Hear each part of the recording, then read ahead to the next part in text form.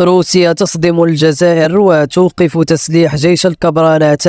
وأمريكا تستمر في تزويد الجيش المغربي بأقوى وأحدث الأسلحة في العالم. وتقرير لوكاله فيتش يؤكد بأن الجزائر دخلت المنطقة المظلمة مع روسيا بسبب التغييرات الجيوسياسية في المنطقة وسوء علاقاتها مع مالي والنيجر.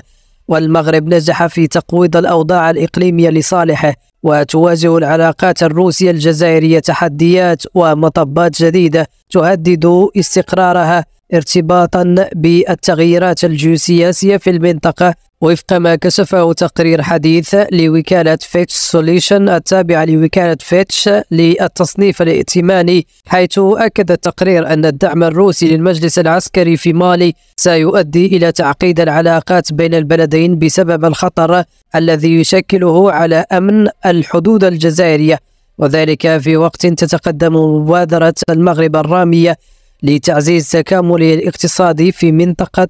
الساحل بشراكة مع الإمارات العربية المتحدة ما سيزيد من تقويض المصالح الجزائرية ونفوذها في القارة السمراء. ومن المتوقع أن يؤدي تراجع نفوذ الجزائر في مالي والنيجر إلى زيادة المخاطر الأمنية على طول حدودها بعدما أعلن في 26 يناير الماضي الحكام العسكريون في مالي إلغاء اتفاق السلام المبرم عام 2015 مع الانفصاليين الطوارق. الذي سبق أن رعته الجزائر.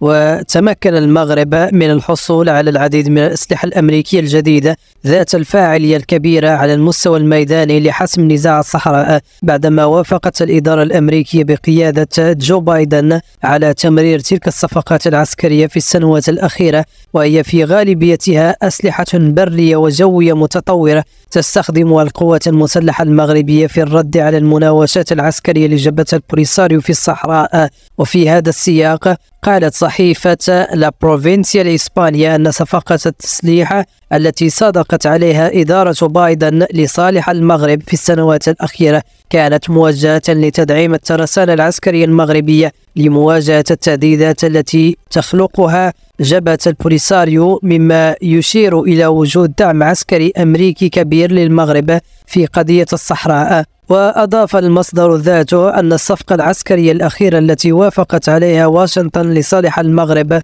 تتعلق بمنظومة صواريخ جافلين وتتضمن 612 قذيفة من نوع FGM 148 F من طراز جافلين و200 وحدة إطلاق إضافة إلى العديد من المعدات العسكرية الأخرى المرتبطة بهذا النظام الصاروخي وهي موجهة للاستخدام ضد جبهة البوليساريو بالصحراء.